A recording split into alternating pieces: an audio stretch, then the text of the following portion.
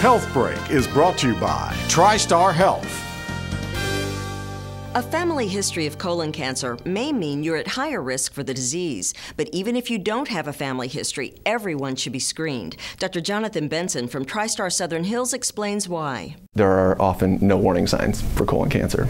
Um, a lot of times uh, people will show up for screening, they'll have uh, at colonoscopy advanced uh, polyps, which are precancerous uh, growths in the colon, uh, or, or even a cancer, and there were absolutely no symptoms whatsoever. It's recommended that everyone be screened when they reach age 50, but African Americans, those with a family history, or those with other risk factors like smoking should ask their doctor about having a colonoscopy earlier. The patient is sedated throughout the whole procedure.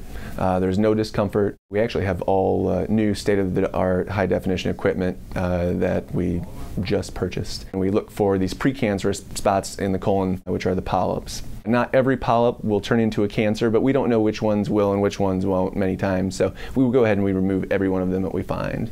Uh, and that is how we prevent colon cancer.